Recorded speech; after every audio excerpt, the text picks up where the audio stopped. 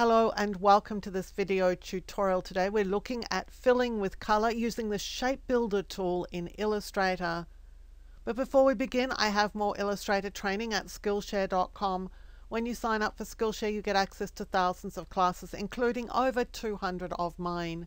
In the description below is a Skillshare coupon, which is at least as good as the current Skillshare offer, and typically mine is better.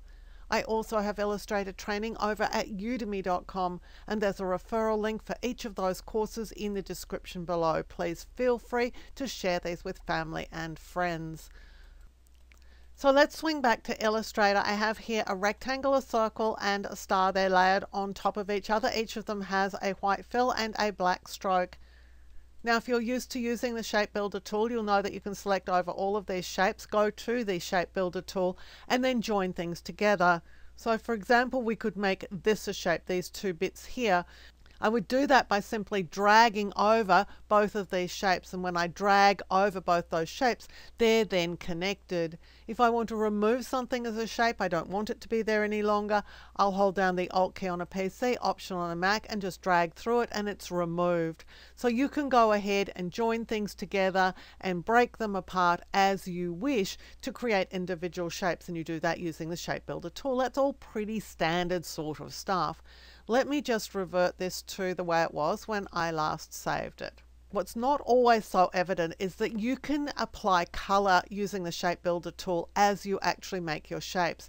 Now you probably already know that you can do that using the live paint bucket tool. When I hover over a shape here with the live paint bucket tool, I can select to fill it with color.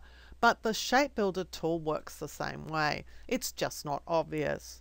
Right now we're not seeing anything that indicates that we could dump paint into these shapes. Let's double click on the shape builder tool to get access to its options.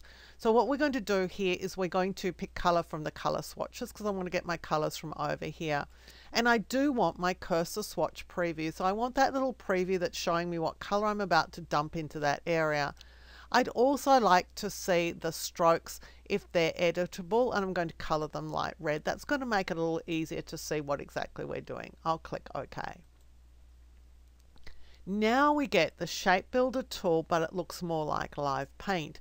So let's go and get some colors. I'm going to grab a color in this small swatch I have here. You'll see it's applied as the fill color, but it's also the middle color in the cursor preview here. And so now if I drag over shapes, to join them together using the shape builder tool not only am I joining them together but I'm also filling them with the color I have selected like the live paint bucket tool, I can use the left and right arrow key to move through the colors. And so what I'm going to do is target my pink here. I just pressed the right arrow key twice. So I'm targeting pink. You'll see pink's over here. You'll see pink is selected over here.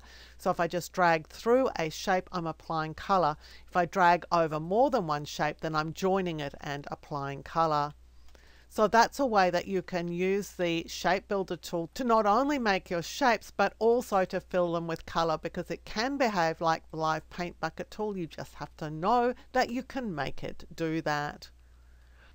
I hope you've enjoyed this video. I hope you've learned things from it that you were previously unaware of. If you did enjoy the video, please give it a thumbs up, hit the subscribe button and that notification bell so you'll be alerted when new videos are released. Until next time, my name's Helen Bradley. Thank you so much for joining me here on my YouTube channel.